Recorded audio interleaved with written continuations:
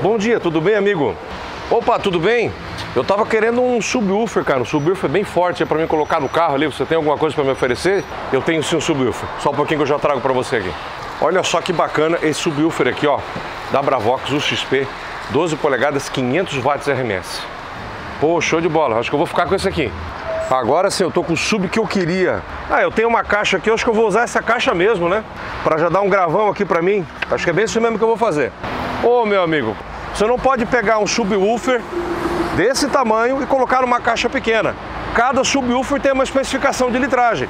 Então você precisa obedecer isso. Caso contrário, ele não vai tocar e pior ainda, vai forçar a bobina, que é o motor dele junto com o imã, e vai acabar queimando esse alto-falante. Cada subwoofer tem a sua caixa, a sua litragem correta, inclusive com o dimensionamento do seu duto.